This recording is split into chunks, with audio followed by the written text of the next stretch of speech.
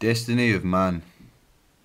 In the murky days of tainted youth, will my nation rise as my forebears crafted it, or will it fall like all nations soon will?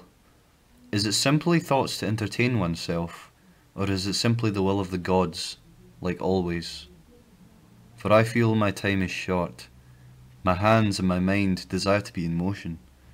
Could I, man, cast my own fate, as if I could survive Ragnarok?